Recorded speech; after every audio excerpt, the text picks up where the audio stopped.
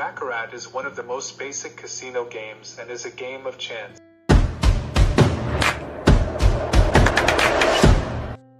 Today, I am sharing you some super cool winning tactics and strategies to win Baccarat game which you can keep in mind to maximize your chances of winning.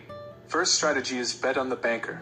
The banker bet has the best odds of winning in Baccarat, with a house edge of just over 1%. It's considered the safest bet and statistically the most likely to win. Second strategy is manage your bankroll. Set a budget before you start playing and stick to it. Don't bet more than you can afford to lose, and consider using a betting system to help manage your bankroll. Third strategy is avoid the tie bet.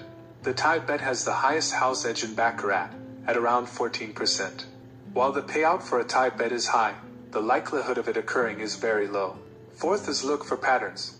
Baccarat players often keep track of the outcomes of each hand to try to identify patterns or streaks. While there is no guarantee that patterns will continue, some players believe it can be a helpful strategy. Last, my recommendation is to play the game for free.